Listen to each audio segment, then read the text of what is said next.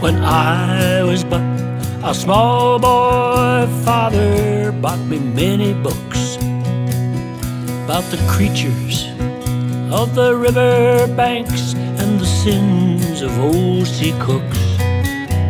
But the ones that I never left behind with the long forgotten games were the tales of wild and windy slopes by the man they call Will James.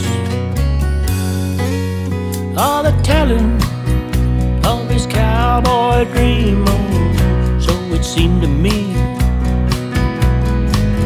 Perfect combination, riding high and living free. His heroes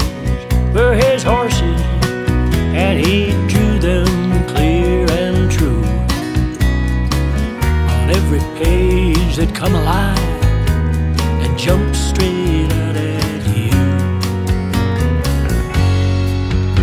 And his race towards the sunset was the high lonesome kind.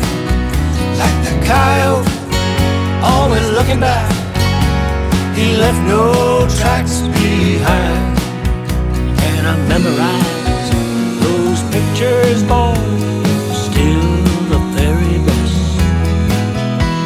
If whiskey was his mistress, his true love was the West.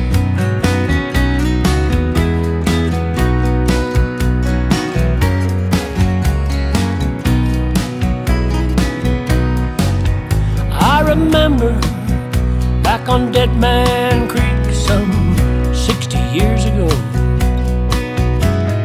I out to breaking broncs, which I'd never done before. Just a city kid. And I asked myself now, what would Will James do? You know, it was the damnedest thing, cause it, it kinda got me through. And his race towards the sunset was the high and lonesome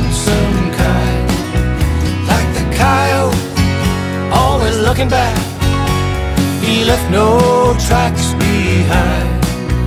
And I've memorized those pictures, boys, they're still the very best.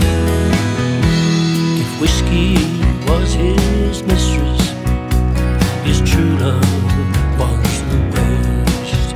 If whiskey was his mistress,